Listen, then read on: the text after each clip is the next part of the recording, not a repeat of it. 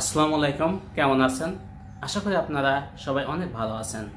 আমি আপনাদের আজকে একটা মোটিভেশন টাইপের কিছু শেয়ার করতে আসলাম। আমাদের আজকের টপিকস সফলতা। সফলতা বলতে আপনি আসলে কি বোঝেন? আপনি কি মনে করেন যে টাকা পয়সা অর্জনই সফলতা? এবং মানুষ কেন কাজ করে? পৃথিবীর ইতিহাসে দেখা গেছে যে অনেকের প্রচুর টাকা আছে। তারপরেও তারা কেন আরও বেশি বেশি কাজ করে? এই, এর মূল কারণ কি আপনারা জানেন? আপনারা কি মনে করেন যে একটা মানুষের চলার জন্য যে পরিমাণ অর্থ প্রয়োজন এই জন্যই শুধুমাত্র কাজ করে? বিষয়টা আসলে তেমন না। আমি কিছু স্টাডি করলাম, বই পড়লাম সেখান থেকে যে তথ্যগুলো আমি জানতে পেরেছি, সেগুলোই আপনাদের শেয়ার করার চেষ্টা করব। প্রত্যেকটা, প্রত্যেক মানুষের ভিতরে একটা জ্বলন্ত শিখা বা প্রদীপ আছে। সেগুলোকে প্রতিনিয়তই আমাদের বিকশিত করার চেষ্টা করতে হবে। তো দেখা গেছে যে আমরা প্রতিনিয়তই অর্থের পিছনে ছুটছি। কিন্তু একসময় আমরা অনেকেই প্রচুর অর্থের মালিক হয়ে গেছি।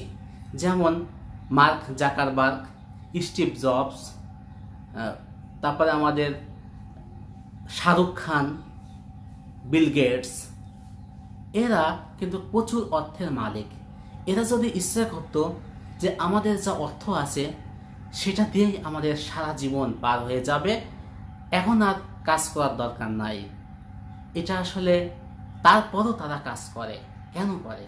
আসলে মানুষ কাজকে ভালোবেসে করে। মূলত অর্থটাই তাদের যদি মূল উদ্দেশ্য হতো, তাহলে তারা কাজ করা ছেড়ে দিত। তারা কাজ করে কাজকে ভালোবেসে।